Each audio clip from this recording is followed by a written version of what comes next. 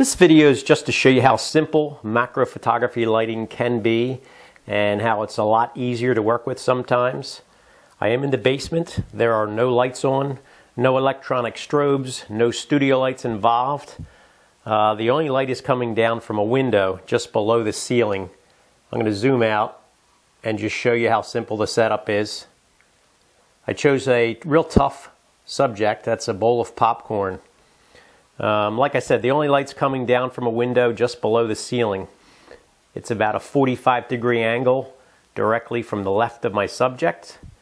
You can see I don't need a background because I'm high, up high shooting down at a single kernel of popcorn. I just leaned a white piece of foam core off to the right side and it's just leaning up against the tripod. Um, it's a tough subject matter because it's mostly monotone in color. The lighting has to bring out the textures. It's got to create depth without being new, uh, too contrasty. The uh, exposure was f18 for two and a half seconds, and I used the mirror lockup function to prevent any motion blur. And here are a couple of the photographs I got from this macro lighting session.